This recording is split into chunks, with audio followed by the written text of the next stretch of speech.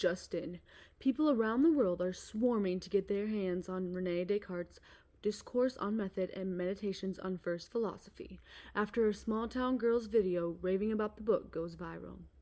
Unfortunately, we were unable to get the girl in the studio with us today, but she has given us permission to broadcast her video on the show. Without further ado, a blossoming review on Descartes. Oh my goodness, guys. I just read this book, and let me tell you, I will never look at life the same again. This is the most wonderful, most interesting, most exciting book that you will ever read. This book taught me that I should learn and believe from people who care about what they are teaching and who have studied it thoroughly.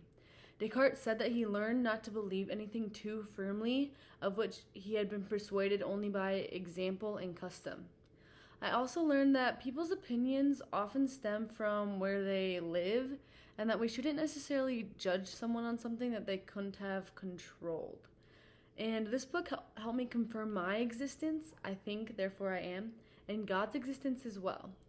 Like I said, this book completely altered my perspective and changed my life for the better. I 100% recommend that you read it and that you read it now.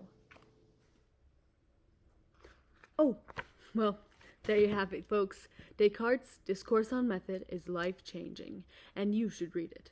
That's all we have for today. Thanks for watching, and we'll see you next time on Live for Civ.